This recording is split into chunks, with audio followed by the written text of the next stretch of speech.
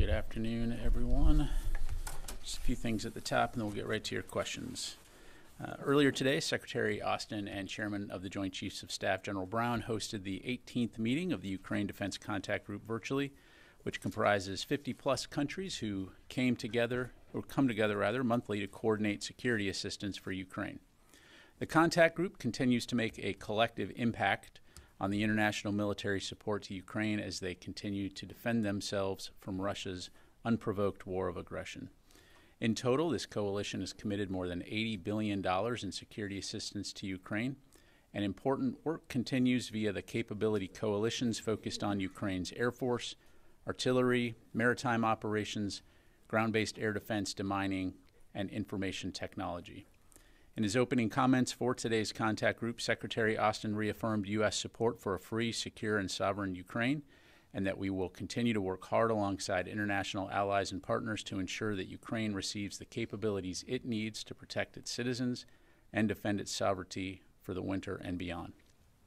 Separately, as you heard us announce last night in a joint statement, the U.S. and UK, with support from Australia, Bahrain, Canada, and the Netherlands, conducted strikes yesterday against eight Houthi targets in Yemen in response to the Iranian regime backed Houthis' continued attacks against international and commercial shipping, as well as naval vessels transiting the Red Sea. These strikes were precise, proportionate, and intended to further disrupt and degrade the capabilities the Houthis have been using to threaten global trade and the lives of innocent mariners. Targets included a Houthi underground storage site and locations associated with the Houthis' missile and air surveillance capabilities.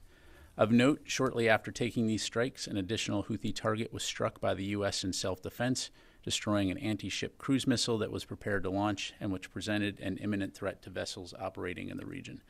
Again, our aim remains to de escalate tensions and restore stability in the Red Sea. But as our joint statement yesterday emphasized, we will not hesitate to defend the lives and the free flow of commerce in one of the world's most critical waterways in the face of continued threats. And with that, I'm happy to take your questions. We'll go to Associated Press, Lita. Um, two things. Pat, one, can you give us an update on Secretary Austin's condition and any uh, estimated expected time that he will return to the building? And do you want Yeah. to do that first? Uh, sure. Um, in terms of return to the building, I don't have anything to announce today. Of course, we'll continue to, to keep you updated. Uh, the secretary continues to recuperate from home. Uh, he's recovering well. Uh, as I highlighted uh, last week, uh, part of his care at home uh, continues to be physical therapy. Uh, but again, we'll keep you updated on his return date to the Pentagon. And secondly, on the strikes last night, first, uh, just a clarification on what you just said, uh, the additional unilateral strike, how long after um, that, the initial barrage, did that Yeah. happen? And then can you provide a more detailed BDA at this point? Um, Last night, they weren't able to say much about uh, what they thought the impact of the strikes were. Sure. Um, in terms of the the uh, self defense strike, uh, rough number probably within 15 to 30 minutes of the uh, of the the main operation there. Um, in terms of uh, post strike assessments, uh, CENTCOM is continuing to assess the outcomes of the strikes. Uh, so I don't have anything specific on that other than to say uh, that we um, believe that we achieved good effects. I can tell you that since January 11th, We've assessed, uh, we assessed that we've destroyed or degraded over 25 missile launch and deployment facilities, more than 20 missiles, uh, plus we've struck unmanned aerial vehicle, coastal radar, and air surveillance capabilities, as well as weapon storage areas with good effects. Uh, we'll continue to assess uh, and provide you updates as we're able to. Tom. Uh, First of all, Pat, can you give us an estimate of uh, how much uh, Houthis have been degraded by the numbers you just gave out, percentage-wise ballpark? Um, again, Tom, I can't go into the specifics in terms of the totality of their capabilities and provide percentages, other than again, um, you know, it, it's fairly significant when when you look at the missile launch and deployment facilities, missiles. You know, you're you're talking over 50. Uh, you know, when when you add those numbers together, in addition to the other capabilities, so clearly a, a degradation of capability. Um, we have been very focused on targeting the kinds of things that they've been employing or using to conduct attacks against international shipping and mariners, and that will continue to be our focus. Uh, and so the, the the last Houthi attack that I'm tracking was on the 18th of January, so five days ago. Um, as you know, since that time, we have taken several self defense strikes uh, when there was an imminent, th- imminent threat or uh, an anticipated launch. Um, but again, we'll continue to, to stay focused on that. Give us an update on Al Assad uh, damage assessment? And also, there were two uh, service members wounded. What's their status? And then I guess you're going to be monitoring others for TBI, potentially uh, numbers. And finally, was this the first time ballistic missiles were fired at uh, U.S. personnel in Iraq? Yeah, thanks, Tom. So, a um, couple things there. Um, so, in terms of the of Al Assad uh, and the attack that we saw over the weekend, um, to my knowledge, no significant damage to the facilities. Um, I am tracking reports today uh, of another attack uh, at Al Assad, which were, um, you know, heard those reports. We're looking into it, and so we'll have more to provide on that uh, as it becomes available. In terms of the personnel that were injured in the attack over the weekend, uh, at the time we were tracking uh, two U.S. Uh, service personnel uh, that uh, suffered TBI. Um, since then, we have identified two additional service members for a total of four. To my knowledge, all have returned to duty at this point. Uh, but again, as you've seen in these kinds of things in the past, those numbers can fluctuate. So we'll continue to, to pay attention to that. Thanks. Ballistic missiles? Uh, this Uh, last, uh, the last ballistic missile attacks uh, were in November, November 21st of last year, uh, also at Al Assad. Jennifer. Pat, what kind of drones are the Houthis using? Are they the same Iranian drones that are being used and shipped to Ukraine? Jennifer, I don't have the specific variant, um, but based on uh, based on my understanding, uh, these are one-way attack drones of Iranian origin. Okay. Um, and can you explain just generally the challenges that Ukraine will face uh, if it doesn't get more military aid soon? Sure. Um, you know, the obviously the continued lack of funding has forced us to pause drawing down additional items from our inventories, uh, given the implications for our own military readiness.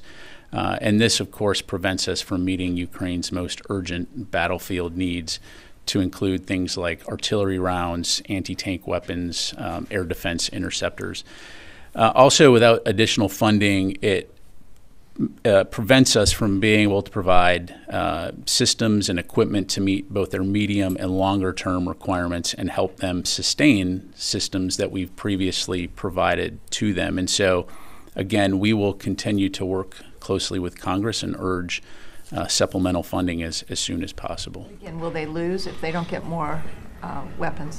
Well, I don't. I don't want to predict the outcomes in the battlefield. Obviously, Ukraine has a vote when it comes to fighting on the battlefield, but clearly, uh, you know, the threat is real, and I think uh, the fact that Russia continues to demonstrate an intent to fight against Ukraine and to occupy Ukraine and to eliminate Ukraine as a country highlights the fact that this is a, secure, a serious security threat that, that is not going to go away. Uh, so the sooner that we're able to continue to provide the levels of support that we have, uh, the better, not only for Ukraine but for the international community. Is this the first time the U.S. has not been able to um, pledge anything to the contact group? Was anything pledged today? Any long-range weapons? Any more Abrams tanks? Yeah, I'm not tracking any specific material support, but of course we do continue to provide support, uh, for example, training um, and of course uh, leadership via the capability coalitions that I highlighted in the topper. Um, but the point is, um, in, in, order for us to provide the capabilities that Ukraine needs on the battlefield today, um, but also in, in, the longer term, um, we, we would really appreciate uh, the support of Congress. Thank you, Carla. Um, thank you.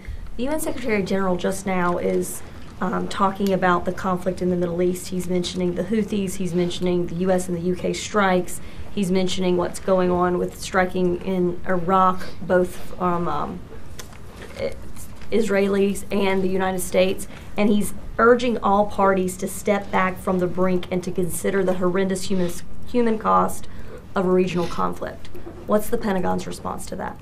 Well, Carla, we, we've been working for a very long time on regional security and stability, not only in the Middle East, but around the world. And so we'll continue to work very closely with allies and partners globally uh, to address tensions uh, in the Middle East. You know, since uh, Hamas's attack against Israel, of course, we've been very focused on deterrence and on preventing a wider regional conflict, and we'll stay focused on that. And what about his words on the brink? Is the U.S. on the brink of war right now in the Middle East? Uh, we are not at war in the Middle East. Clearly, there are significant tensions in the Middle East, and again, we're working closely with allies and partners to de escalate and reduce those tensions where we can, recognizing the fact that, uh, you know, others have a vote as well. Natasha. Thank you, General Ryder. Two quick things. So on the strikes last night, were there any casualties that resulted from from the U.S. UK strikes, including whether that's militants or civilian casualties? Um, I'm not, I'm, on the civilian side, I'm not tracking any civilian casualties. Of course, we're continuing to assess. Uh, Natasha, I, I just don't have any numbers to provide in terms of potential Houthi, um, you know, militant ca- casualties. Um, but again, that's something we'll continue to assess. And then in terms of the lack of missile attack by the Houthis since January 18th, I believe you said, is that because the U.S. is just continuing to kind of take out their missiles and missile launchers as and when they see them kind of loading up and preparing to launch an attack, or is it because the Houthis simply don't have that capability anymore, or it's more difficult for them to launch these missiles? What is kind of the thinking behind why they haven't been launching as many? Yeah, I mean, that's really a question for the Houthis to answer. Clearly, um, our goal here is to disrupt and degrade their ability to conduct those kinds of strikes and, and to put that kind of pressure, especially when there's an imminent threat, I think does have an effect. Uh, they do maintain some capability, uh, so it's not out of the question that there could be additional strikes. Um, but again, our goal here is to ensure that the Red Sea is safe and secure for international shipping and mariners. That is our only goal. Uh, and so, again, we'll continue to work with our allies and partners toward that end. Thank you. Let me go this side of the room, Phil. Do you have any uh, sense of, of when or if uh, Secretary Austin will brief this press corps? Phil, I'll, I'll very aware of the request, and I'll keep you updated on that. I do not have a date for you to provide right now. Okay. And on the uh, attacks in Iraq, I mean, is there have been any communication between this department and the Iraqi government about the need to, to find the people who are responsible for launching ballistic missiles at U.S. forces? Well, Phil, um, I mean, we, we've had regular and ongoing discussions with our Iraqi partners uh, on the topic of U.S. forces in Iraq uh, and their safety and security. And so those conversations, of course, will continue. Have you been notified of any Iraqi government plans to end the U.S. mission in Iraq? At this time, I'm not aware of any official notifications to the department. Tom? Thanks, General. Is it your expectation that this um, dynamic in the Red Sea is going to continue until the uh, until there's a sustained ceasefire in Gaza? In other words, are you expecting uh, is the off ramp going to be like a settlement in Gaza? Uh, How long do you think this is going to go on for? Yeah, well, obviously, I don't want to stand up here and predict the future. You've heard me talk about what our goal is, uh, which is to ensure that international shipping and mariners can transit this vital waterway safely and securely.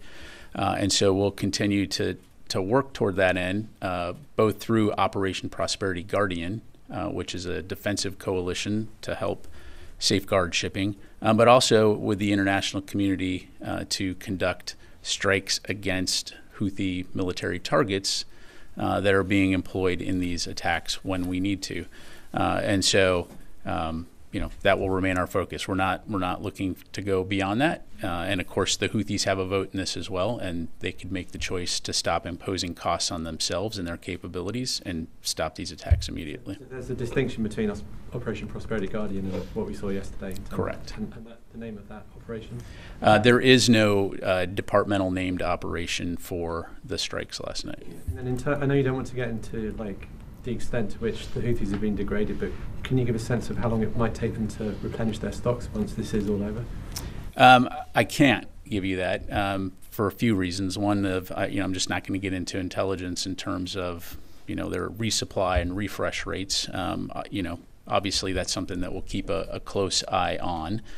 Um, but these strikes, uh, from a physical standpoint, are having an impact on their ability to conduct attacks, um, as well as in you know diplomatic and international uh, standpoint, you know economic standpoint. So uh, again, Um, our focus here is not to escalate or get into a conflict with the Houthis. Our goal is to prevent uh, these continued attacks against the international community and international shipping transiting the Red Sea. Dan, did you have a question?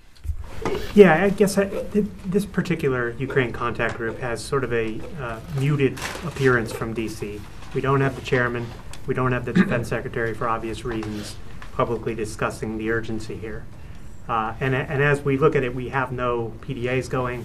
We have no sense that that's any anytime soon. Can I, can you speak to, I guess, the symbolism here that you know there isn't the same level of urgency or there isn't the same level of attention as there had been? Yeah. Um, you know, at, at the risk of um, coming across as flippant, which is not my intent here, that's kind of a glass half empty look at it. I, I would turn it around and say the fact that um, despite, you know, the fact that um, we don't have supplemental funding, um, despite the fact that, you know, Russia continues to push against uh, Ukraine and conduct these, you know, massive bombardments of Ukrainian cities, you continue to see every single month the international community come together in one form or another in order to focus on this priority, which is enabling them to have the capabilities they need to defend themselves and protect and take back sovereign territory. And it's not just the United States; it's the the international community. You know, um, uh, I highlighted the total amount uh, that has been provided so far, uh, $80 billion. And so that is going to continue. And, and when the secretary, when he has talked to his counterparts, uh, both in the past and just recently, uh, and on the topic of Ukraine, it's always the same thing. What do we need to continue to do to ensure that they can protect their sovereign, sovereignty and protect their people? And so uh, I think it's actually a very positive thing that we were able to do this uh, in this format and keep that conversation going. More importantly, continue to ensure that the commitments that have been made uh, can be implemented in a, in a methodical uh, form and fashion. Thank you. Let me go to Laura. Thank you. Um, first of all, can why can you not tell us why, uh, whether or how many combatants have been killed in these? Because I don't have an answer to that question. You, you don't have. I so don't just, have an the answer that. DoD does not know. Uh, again, we're continuing to assess. I don't have any information to pass to you. Okay.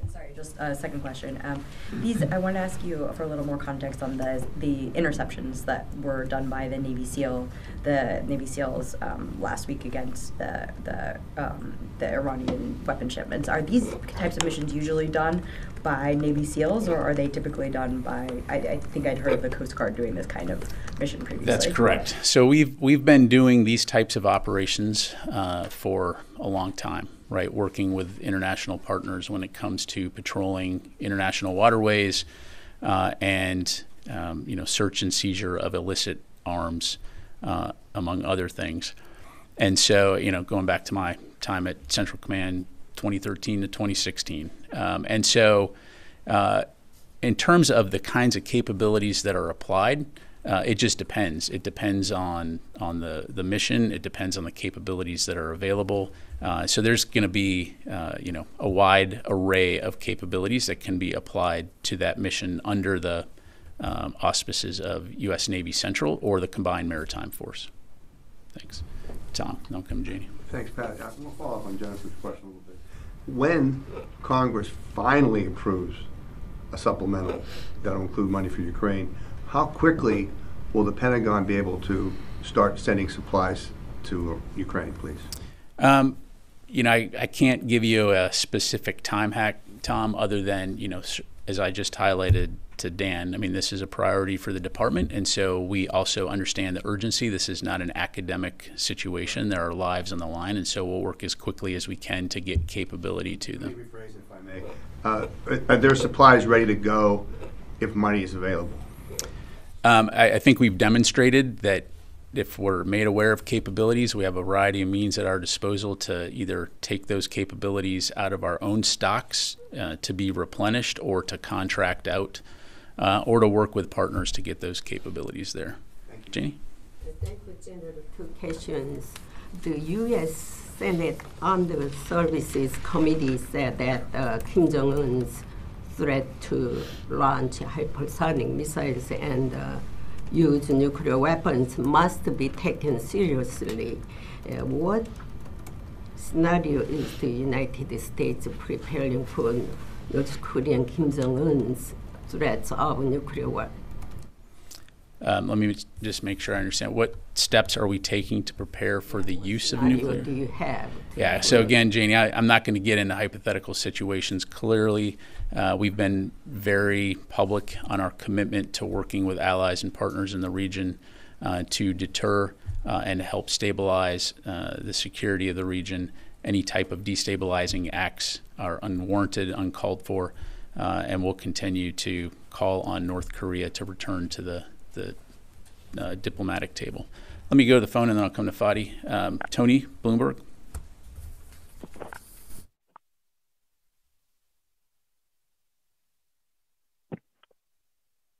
Pat, I just unmuted myself. Can you hear me? Hello. Can you hear me? There we go. Okay, we'll come. We'll come back to you, Tony. Fadi. Thank you, General. Uh, Just to put the uh, of these strikes against Houthi positions into perspective, I think you mentioned 25 uh, launching uh, and deployment facilities for, for missiles and more than 20 missiles in addition to radars and UAVs. Do, does the Pentagon know how much they have in their arsenals in terms of, of missiles and UAVs? So, you know, again, without getting into intelligence, I mean, you know, clearly this is something that we will continue to study, and we have, uh, you know, an understanding of the capabilities. But again, for operation security reasons, I, I'm not going to go into what we assess as the totality of Houthi capability, other than to say that these strikes that we're taking are very deliberate, proportional, uh, as it relates to the kinds of capabilities they're employing against international shipping. And you, you said the focus is not to get into a conflict with, uh, with the Houthis. Uh, according to uh, officials uh, and the Pentagon statements, uh, I believe the U.S. have used more than 180 uh, ammunition, striking more than 36 uh, positions, a number of targets, using aircraft carrier, submarine, ships, aircraft. How does a conflict look to the Pentagon? Well, first of all, I wouldn't define it as a conflict. Again, I would define it as action that's being taken to disrupt and degrade Houthi, uh, Houthi capability to conduct attacks against the international community. And again, if we go back in time here, um, you know, beginning in mid-November, the Houthis began these attacks, and despite multiple warnings from the international community, uh, and despite the fact that there was a statement from 14 countries plus the United States saying there would be consequences, they made the choice to continue to do these. And so, uh, you know, rhetorically speaking, should there be no cost for that? Uh, there is a cost for that, uh, and it's right now it's in the form of not only you know economic uh, and diplomatic uh, uh, measures, but also in this case physical means to reduce, disrupt, degrade their capability to conduct these attacks. If they stop conducting these attacks, then there'll be no further need to take these kinds of actions. Um, but again, um, you know, our hope is that we can restore security and stability to the Red Sea, and we'll continue to work toward that end. Let me try uh, Tony again to, uh, from Bloomberg.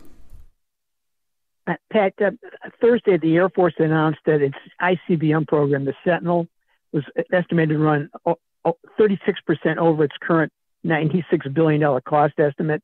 That's a lot of money. How concerned is the Pentagon that this key program may be going off the rails and that you may have to spend money to upgrade the current Minuteman III program?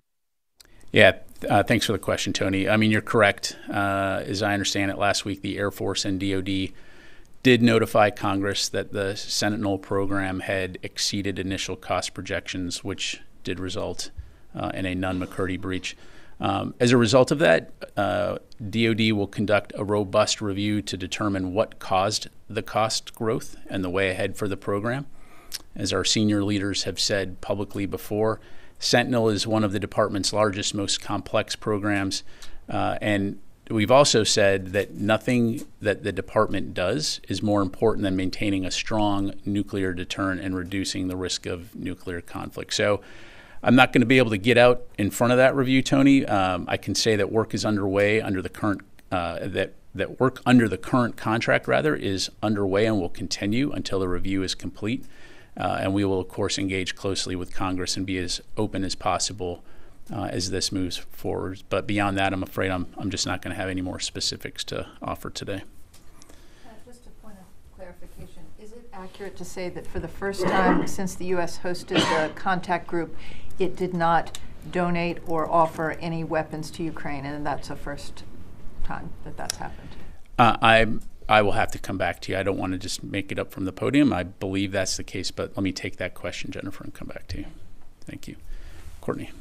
Um, can you address why uh, the prepared remarks that Secretary Austin had for the contact group this morning included his acknowledgement at the top that he was at home and made a very vague um, um, comment about his health? Why you didn't say that? Yeah, thanks, Courtney. Um, so what was posted was was an as prepared for delivery version of his remarks. It's of course the secretary, secretary's prerogative uh, what to say or amend as he delivers his remarks. It's as simple as that. Why do you think he, I mean, uh, we, we would ask him this ourselves, obviously, but why why do you think he decided not to address the fact that he was at home or say anything about his health in his, in his first public appearance since being released from the hospital? Yeah, I mean, I appreciate the question. Again, uh, it's his prerogative uh, on any remarks that he gives uh, to, to amend those uh, in delivery. I, I, will say I'm glad that everyone was able to watch his remarks uh, about the impact of the Ukraine Defense Contact Group and the important work that it's doing to save lives from Russia's illegal and unprovoked uh, aggression. So. I ask on Natasha's question. I wasn't clear if, um, and on the, the, the overall idea of of potential people being killed in the strikes against the Houthis. So you do you have any indication at all that any Iranians have been killed in any of these strikes? I know that you can't give numbers or anything like yeah. that, but do you have? I mean, some of these occurred now back on January 11th. It's been some time. Do you have yeah. any indication any Iranians have been killed? Uh, I do not have any indication of that. Again, um, you know, as I understand it, as these strikes were being planned, uh, there there was a very deliberate effort, as is always the case for us, uh, to to conduct these in a way that is going to minimize the potential for civilian harm, of course. Uh, and in terms of what we're striking, um, not being in uh, pop, overly populated areas, but when it comes to the total number of Houthis, you know, uh, operators, so to speak, um, again, I, I just don't have a number to pass along. Planned strikes. What about the dynamic strikes? Do you have that same level of fidelity that there may not be people around those when they? I mean, especially if there's the argument is that they seem to be preparing. I think they've all been missiles, right? Missiles that are on the rails, maybe yeah. being prepared to be launched. Do you have the same level of confidence that people may, Houthis or whomever, may not have been killed in the dynamic strikes? So, um, again, without getting into intelligence, um, you know, we're, we're always going to take a look at those things. To your point, I mean, there can always be times where you know there's unexpected situations, but in this particular case, as I understand it, these are facilities that are on mountainsides, in fields, at airfields. Uh, they're they're not in crowded uh, industrial uh, or populated areas, as I understand it. Again, we'll continue to assess, I, but I just have not seen or been briefed on anything to indicate any um, anything like that. We'll go to Jared and then come here. Yes, sir. Um, on these efforts to interdict uh, weapons smuggling to the Houthis uh, from Iran, um, obviously this has been going on for a long time, these operations. Uh, but has there been any change in the pace or the scope or the focus of these operations in recent months, uh, say to complement uh, Prosperity Guardian and the US and UK led strikes, or is the main effort, so to speak, focused more on neutralizing the weaponry that has already made it ashore? Yeah, so so it's important to differentiate between those ongoing uh, efforts that I talked about that have been happening for a while and Prosperity Guardian and uh, these most recent strikes. Um, so the, the two are, are not connected. There, has there been any change in the pace or the scope of those interdiction operations? Um, I, I, don't have a number to provide other than, again, I mean, part of that just depends on, you know, and again, this is a bit of a hypothetical, but it just depends on, for example, are there uh, suspect vessels that, that need to be searched or stopped. You know, it, it's sort of like um, any day you're driving down the highway, you know, if, if you see something suspicious and you pull um, someone over to, to check. So um, I just leave it at that. Thanks. Yes, sir. uh, on Syria, according to a report by Al Monitor, the Pentagon has floated a plan that encourages Syrian democratic forces to partner with Syrian government in the uh, campaign against ISIS. Do you, confirm, do you confirm there's any plan? I'm sorry, which forces? Syrian Democratic Forces that encouraged them to partner with the Syrian government. I, I don't, I don't have anything on that. I haven't seen those reports. Do you have I'd any refer you to the SDF. I mean, of course, our, our focus in Syria right now is on the defeat ISIS mission. That's the only reason uh, that we're there. Um, so that that's the main focus. So do you have a long-term strategy in Syria? along to well, our focus, the only reason we're in Syria is again the, the enduring defeat of ISIS. When it comes to the broader uh, regional question of Syria, um, you know, again, I, I don't have anything new to pass along on that. Let me take a, a couple more here. Howard Altman, Warzone. Thanks, Pat. I got a couple of questions and a couple of answers. One, uh, given that the Houthis have threatened um, U.S. bases in the region, can you say whether there's been any degradation of their surface-to-surface uh, missile supply and, and what that degradation is? And then separately, on the Defense Contact Group's uh, drone uh, coalition, can you say which countries are involved and then what are the deliverables and the timeline for those deliverables in that coalition? Thanks, uh, Howard. In terms of uh, degradation of capabilities, I'm not going to have anything to provide to you beyond what I provided earlier. Uh, clearly, again, uh, that some of those missile, some of those uh, missile capabilities that they've been employing against uh, ships in the Red Sea and Gulf of Aden region. Um, when it comes to force protection, of course, we're going to take necessary steps to protect our forces throughout the region, um, but I'm not going to get into specifics uh, in terms of tactics, techniques, and procedures.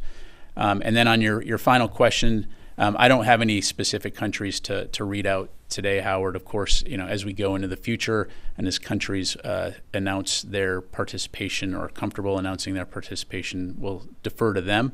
Um, but we'll certainly have much more uh, in the days ahead on that, and we'll keep you updated. All right, can do one more. Um, Michaela. Hi, thank you for doing this. Apologies if my question's been asked. It's a little um, fuzzy on the phones, but can you kind of um, explain uh, how long, or can you confirm that the Houthis right now are actively getting replenishment from Iran right now? And then as a follow-up, do you think we're going to see more of these um, kind of whack-a-mole strikes? Is that really what CENTCOM's strategy is going to be from here on, or are we are we actually preventing these attacks in the longer term? Thank you. yeah Thanks. Uh, so again, you know, we we know uh, obviously that Iran has a relationship with the Houthis. Uh, in terms of again their resupply refresh rate, I don't have anything to pass along other than you know that's something that we'll continue to monitor. I think the key point here is that uh, the Houthis, starting in mid-November, began attacks against international shipping and mariners. Uh, and despite multiple warnings, have decided to continue to do that. And we've been very clear uh, that our single uh, focus is on ensuring that the Red Sea and the Gulf of Aden uh, are safe and secure, uh, and that, that these attacks against the international community stop. Uh, and so our strategy is to continue to work closely with international allies and partners uh, to disrupt and degrade their ability to conduct these attacks. Uh, and, and we'll continue to stay focused on that. But again, no intent or desire to escalate. Um, we just want the ability for the international community to be able to sail through these international waterways unhindered and safely. Thank you very much, everybody. Appreciate it.